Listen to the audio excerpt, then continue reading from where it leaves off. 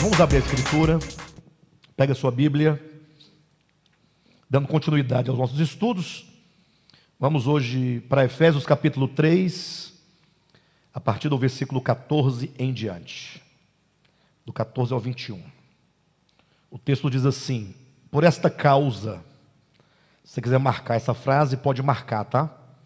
Por esta causa, me ponho de joelhos diante do Pai, de quem toma o nome toda família, tanto no céu como sobre a terra, para que, segundo a riqueza de Sua glória, vos conceda que sejais fortalecidos com poder, mediante o seu espírito no homem interior, e assim habite Cristo no vosso coração pela fé, estando vós arraigados e alicerçados em amor, a fim de poderdes compreender com todos os santos qual é a largura e o comprimento e a altura e a profundidade, e conhecer o amor de Cristo que excede todo entendimento, para que sejais tomados de toda a plenitude de Deus.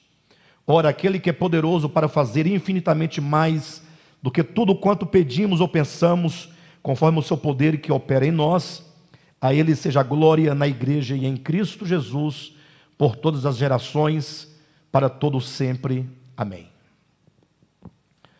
Ah, muito bem, queridos.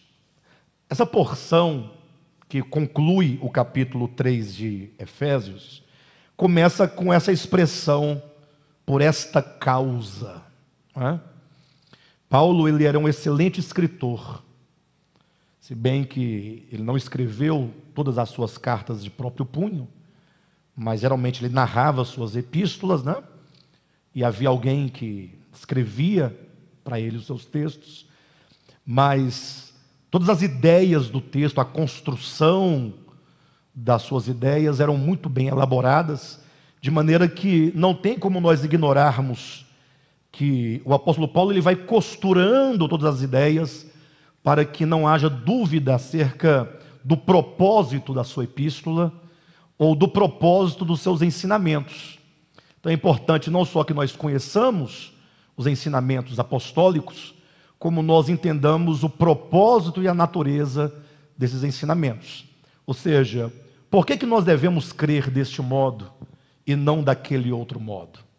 Então, Paulo, quando escrevia suas epístolas, geralmente ele escrevia em, em duas partes. A primeira parte apresentava a doutrina de Cristo, ou seja, ele apresentava os aspectos formais e conceituais da verdade para, num segundo momento, numa segunda parte, ele fazer a aplicação daquele entendimento, daquele conhecimento na vida prática da igreja, como que ele fizesse a relação da verdade com o viver prático daqueles que creem na verdade. Então, ah, é como que ele dissesse: por que, que nós devemos crer deste modo e não de outro modo? Algumas pessoas elas entendem que ah, é possível que haja divergência doutrinária nas muitas linhas teológicas e mesmo nas muitas denominações, cada uma seguindo a sua linha teológica. Mas há um problema nesse aspecto, porque quando eles falam de diferenças doutrinárias, eles vão ter que criar uma subcategoria de doutrina. Uma que eles chamam que são doutrinas relativas, outras que eles chamam de doutrinas absolutas. Ou seja, a doutrina absoluta é aquela que você não pode modificar seria a doutrina comum a todos os crentes, em todos os tempos, em todos os lugares. De maneira que negar um aspecto dessa doutrina absoluta é negar a verdade. E a subdoutrina, ou melhor, a subcategoria de doutrinas que essas teologias criam, seriam as doutrinas particulares de cada grupo.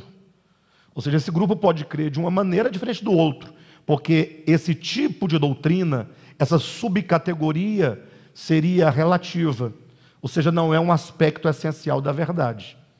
Aí, nesse caso, essa subcategoria doutrinária seria, na prática, a interpretação particular que cada grupo dá da Escritura. É o ponto de vista da, do comportamento humano.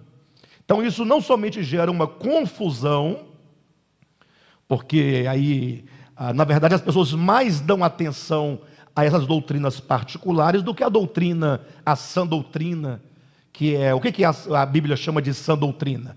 Ora, é o Evangelho,